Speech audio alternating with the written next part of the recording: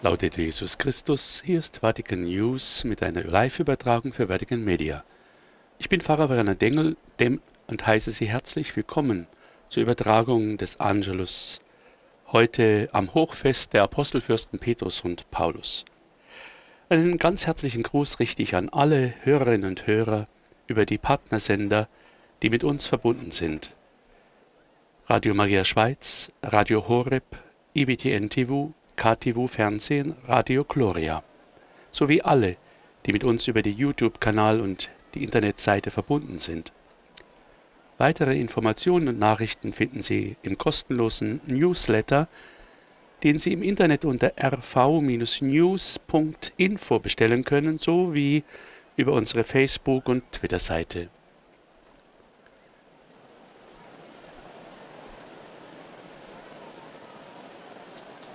Der Heilige Vater wird gleich am Fenster seines Arbeitszimmers den Angelus mit uns beten und dazu eine Auslegung uns anbieten. Um halb zehn hat der Heilige Vater hier in St. Peter das feierliche Hochamt gefeiert und 31 Erzbischöfen, die im Laufe des letzten Jahres ernannt wurden, das Pallium gesegnet, das ihnen dann im Nachhinein überreicht wurde.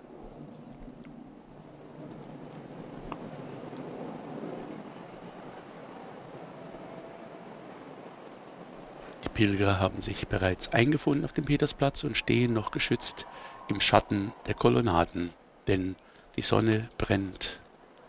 Der Heilige Vater erscheint am Fenster und begrüßt unter jubelndem Beifall die Gläubigen auf dem Petersplatz. E Liebe Brüder und Schwestern, guten Morgen. E die heiligen Petrus und Paulus, die wir heute feiern, werden manchmal in den Ikonen dargestellt, wo sie den Aufbau der Kirche stützen. Das erinnert uns an die Worte des heutigen Evangeliums, wo Jesus zu Petrus sagt, du bist Petrus e und auf diesen Felsen werde ich meine Kirche bauen. Es ist das erste Mal, dass Jesus das Wort Kirche ausspricht. Aber mehr als an das Substantiv möchte ich euch heute einladen, an das Adjektiv einmal zu denken. An das meine, meine Kirche.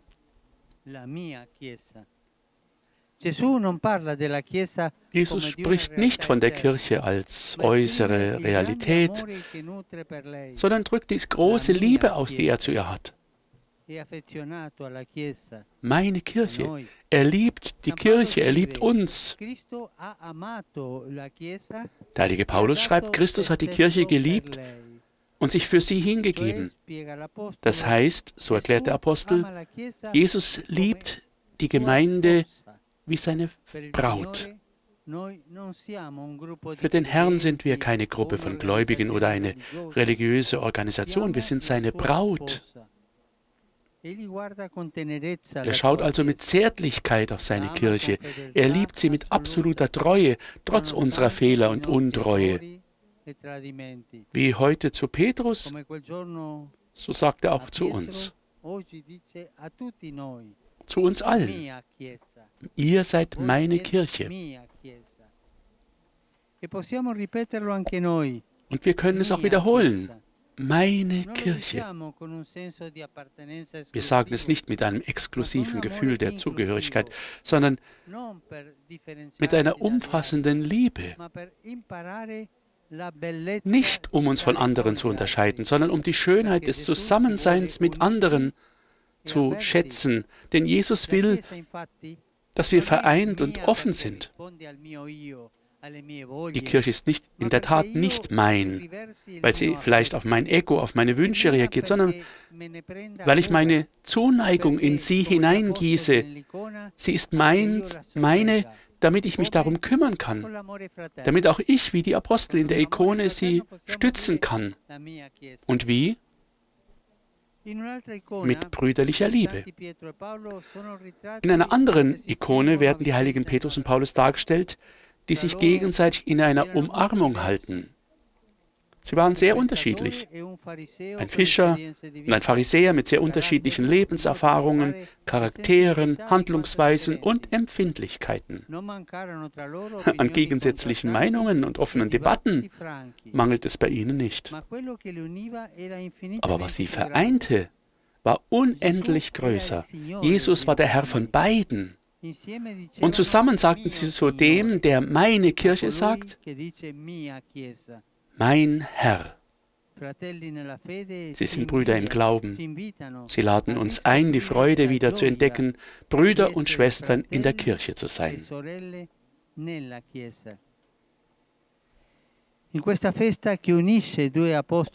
An diesem Fest, das zwei sehr unterschiedliche Apostel vereint, wäre es doch schön zu sagen, danke Herr für die Person, die sich von mir unterscheidet, ein großes Geschenk für meine Kirche. Es ist doch gut, die Qualitäten anderer zu schätzen, die Gaben anderer ohne Bosheit und ohne Neid anzuerkennen. Neid verursacht Bitterkeit im Inneren. Es ist Essig, der auf das Herz gegossen wird. Es macht das Leben bitter.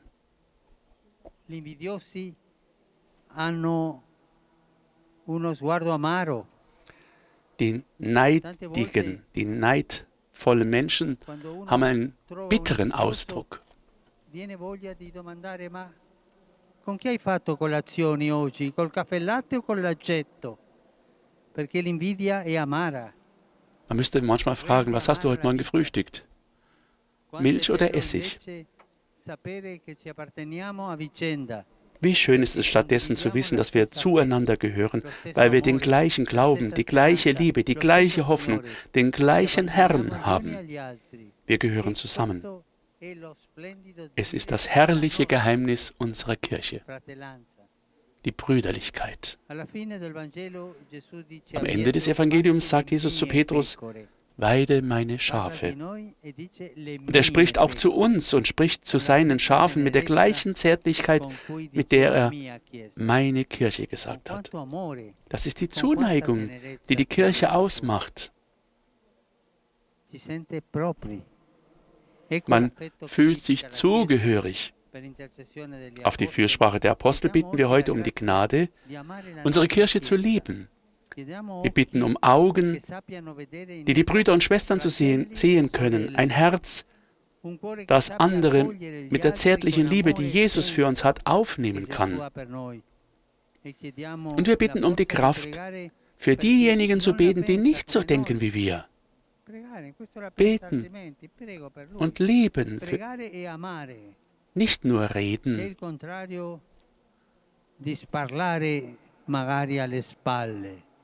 Das Gegenteil also von dem schlecht zu reden über jemanden, vielleicht sogar noch hinter dem Rücken.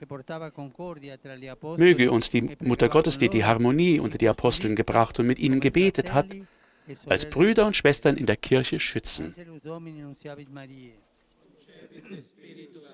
Ave Maria, gratia plena, Dominus tecum, benedicta tui mulieribus, et benedictus fructus ventris tui, Iesus. Santa Maria, Mater Dei, ora pro nobis peccatoribus, nunc et in hora mortis nostre. Amen. Ecce ancilla Domini. Ave Maria, gratia plena, Dominus tecum, benedicta tui mulieribus, et benedictus fructus ventris tui, Iesus. Santa Maria, Mater Dei, ora pro nobis peccatoribus, nunc et in hora mortis nostre. Amen. Et verbum caro factum est. Ave Maria, gratia plena, Dominus tecum, benedicta tui mulieribus, et benedictus fructus ventris tui, Iesus. Santa Maria, Mater Dei, ora pro nobis peccatoribus, nunc et in hora mortis nostre. Amen. Ora pro nobis, Santa Dei Genitrix. Udini ficiamur promissionibus Christi. Grazie a Tu anque sumus Domine, mentibus nostris infunde, Uc angelo nunziante Christi fili tui incarnazione coniovimus, per passione meius et crucem, a resurrezione e gloria perducamur, per Cristo un Dominum nostro. Amen. Gloria Patri et Figlio et Spiritui Sancto. Sicuterat in principio et nunca et sempre, et in saecula saeculorum. Amen. Gloria Patri et Figlio et Spiritui Sancto. Sicuterat in principio et nunca et semper et in saecula saeculorum. Amen. Gloria Patri et Figlio et Spiritui Sancto. Sicuterat in principio et nunca et semper et in saecula saeculorum. Amen. Pro fidelibus defuntis, requiem aeternam dona eis Domine. Requiescant in pace. Sit nomen Domini benedictum. Aiutorium nostrum in nomine Domini. Benedicat vos, omnipotens Deus, Pater, et Filius, et Spiritus Sanctus. Amen.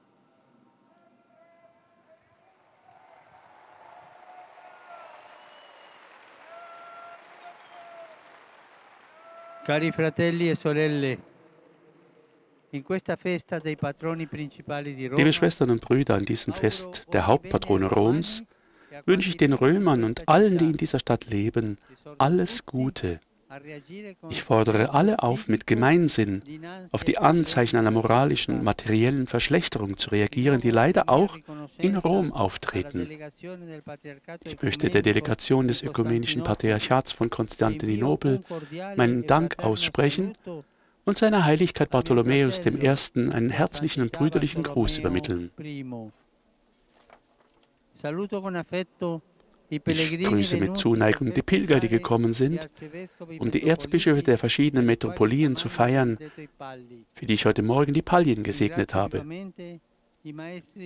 Ich danke den Gärtnern und allen Mitarbeitern, die den historischen Blumenschmuck realisiert haben, der vom römischen Verein Pro Loco gefördert wurde.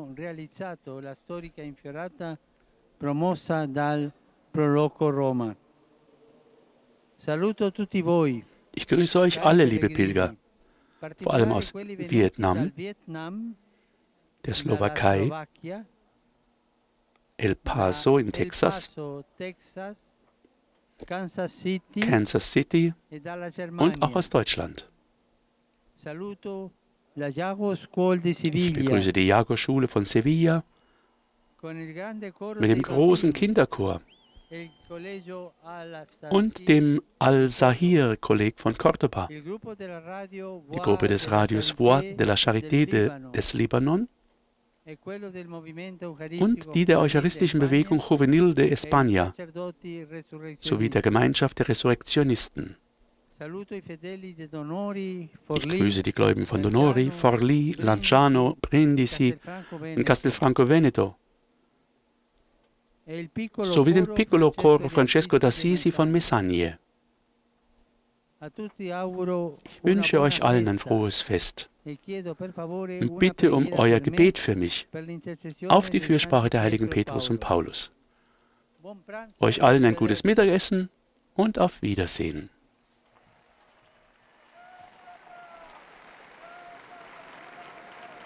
Dies war die Übertragung von Vatican News im Auftrag von Vatican Media. Mein Name ist Pfarrer Werner Demmel und auch ich darf Ihnen ein gesegnetes Fest wünschen und verbleibe Ihnen bis zur nächsten Übertragung.